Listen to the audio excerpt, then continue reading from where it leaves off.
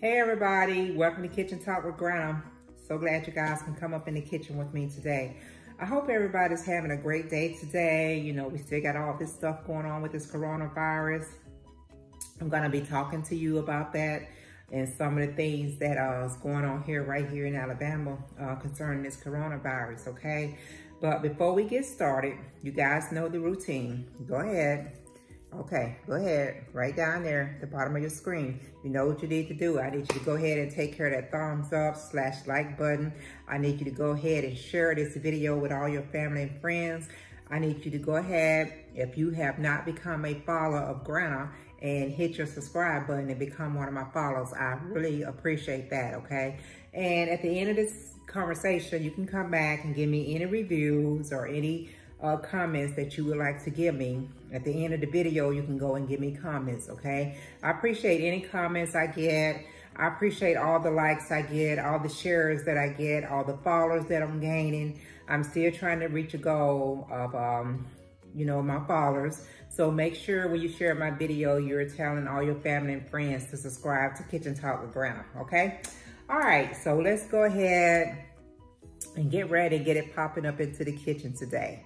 Okay, so we're still talking about this coronavirus, okay? And like I said in a couple of conversations earlier, that um, this is something we can talk about and probably will be talking about all the way to next year. You know, it has affected so many people. It has affected the economy uh, so much. I mean, people are dying. It, it, it, it has caused so much uh, destruction, uh, destruction uh, things to come with this virus that uh, it's just going to be a topic that, that, that people talk about for, for a while now. You know, like I said, this is something you're going to talk about for a while. Okay.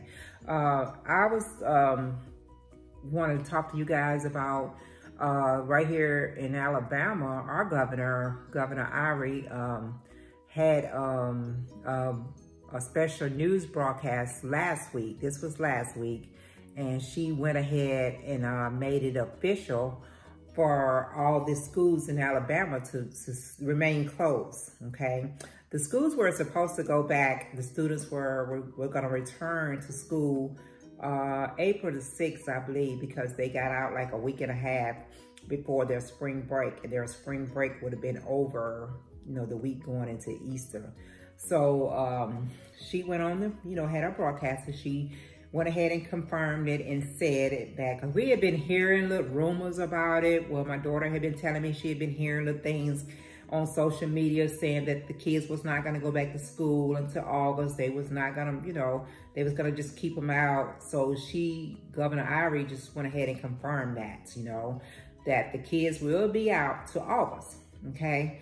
So with that being said, there she's working closely with the superintendent, superintendent and the teachers, all these teachers throughout the, the throughout Alabama and in each county, putting together programs that they can put in place for these students so that they can um, complete their grade and complete whatever courses that they was uh, doing so that they can move on when school started in August to the next grade, to, you know, be promoted to the next grade. So they're working on putting all these programs in place. And, uh, you know, there was, I mean, the social media was, once she made that announcement, social media just went crazy, asking a thousand questions. And I, I mean, and, these was valid questions, you know. There was a mother on there saying, okay, what about my child? They, they are a senior in high school and they would be graduating in May you know, and they only needed to complete, they was only, you know, going to school, I think up until about 11 o'clock because they had already completed all their um, required subject except for one or two. And so they didn't even have to go a complete day, okay? So the governor was saying that, of course, like I said, when they set these programs up and they get them out to the, to the parents and to the students, you know, these students have to uh, do all these different assignments just as if they was in school. You know, they're going to have to, they they trying to set it up where the majority of the people do these assignments online and have teachers, you know, these teachers are online and available to assist as, as they need it or assist the, the students that may need a little extra attention, okay? And then there was questions being asked that, okay, what about um, areas that don't have a great um, internet service that, you know, that is, is just not good at all.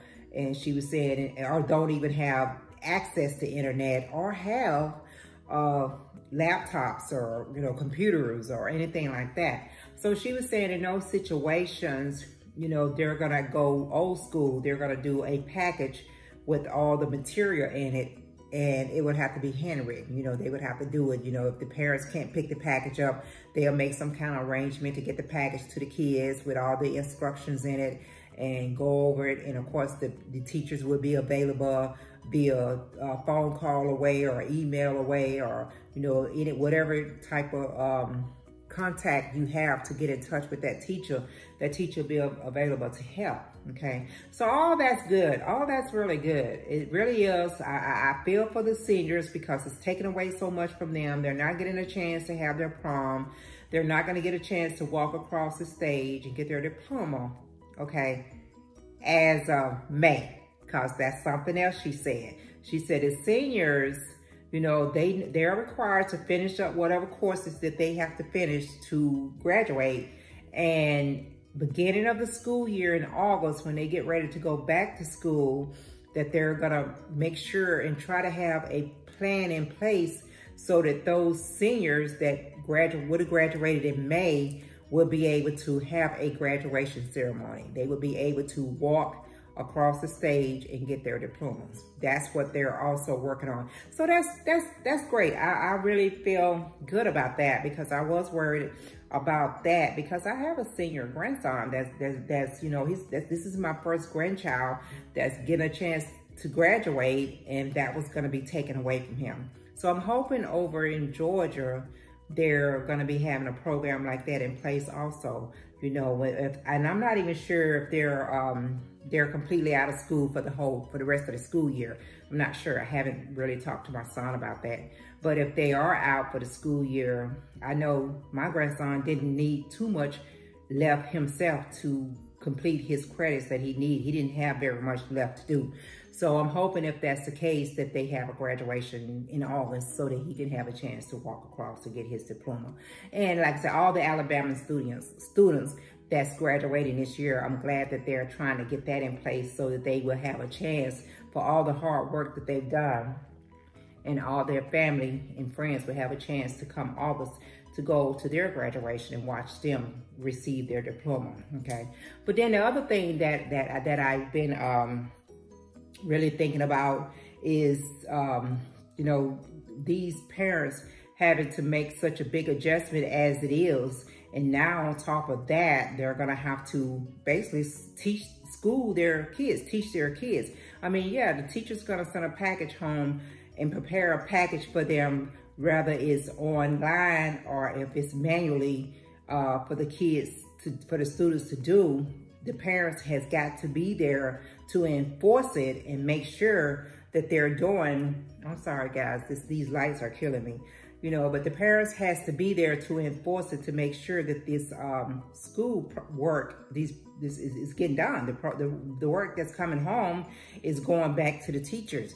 The work that's that's being sent out via online through you know the website that these kids have what they need to do uh, these assignments and to make sure it get done because I would hate to see just because of all this that's going on, some child is having to repeat their previous grade. And they did say when the governor was talking that if these, you know, if these um, programs that they're putting in place are not being enforced at home, it's not going to work because the kids, the, the, the teachers cannot be in the home physically to help these students. So the parents has got to do it. And if they're not receiving these um, uh, assignments back, because I guess the teachers got their website and everything going to be set up. And if they're not getting these assignments back that these students or these kids are completing them, then it could affect them being promoted to the next grade, okay? So I really feel bad for um, for the kids that has that need that little extra attention. you know, all kids are not on the same level. You know, all kids are not up here. You know, some kids need a little extra, a little special uh, attention, you know, with some of the some of the assignments that they have to do already, you know, being in class. So I could imagine them having to get that extra assignment or get that extra attention, you know, from home. You know, you have some parents that's not fortunate enough to work from home and to have some type of structure uh, set up along with their work, their work job that they do daily. They can implement the um, the structure that the, that the kids are going to need to do their assignment along with them working throughout the day. You know, some parents are fortunate enough to do that, that that works from home. They can go ahead and they've already started. They, they've already started, you know, implementing, okay, when you get up, okay, yeah, you get your breakfast. You got to do this from this time to that time, from 9 to, to 11, you're doing this. You know, they got everything kind of structured and already started, you know, and that's good. I'm glad that there's parents that's able to do that because the parents that work from home also uh, it, it's not as easy as people think it is. Because, you know, when you say, oh, I work from home, oh, you got it made. No, it's not that simple because when you're at home, you're still being held accountable. You're still on conference calls. You're still on the computer doing data and doing whatever you're doing. And that stuff has a time limit on it, just like it would if you was in an office. So you still got the same um, responsibility as working from home as you would as you would if you was in an office. But on top of all that, now you got to add the school um, program off into your routine, your daily routine to ensure that your kids are getting a chance to continually to learn what they need and continually to stay on a schedule, a, a, a um, routine that's going to help them get to the next level. So it's a lot. It's so much going on with the school closure. It's so much going on. Uh, in this world today with this coronavirus. I, I am 58 years old. I have been in the workforce place over 30 years of, of my life. I mean, probably longer than that because I started working back when I was about 13, 14 years old. But, you know, um, I've never had it to come to this point where this kind of um, stuff is happening. You know, they're closing down schools or they're closing down these all these business and you know they're they're, they're cutting hours on business. They're making restrictions you know you know self-contain yourself. Stay in the house. You know don't be around nobody. There's so much going on right now. I have never experienced this stuff. It is so crazy.